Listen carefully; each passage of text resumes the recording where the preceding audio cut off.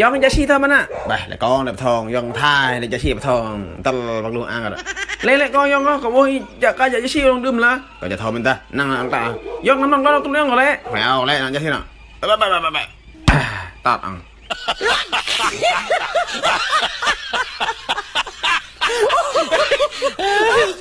าง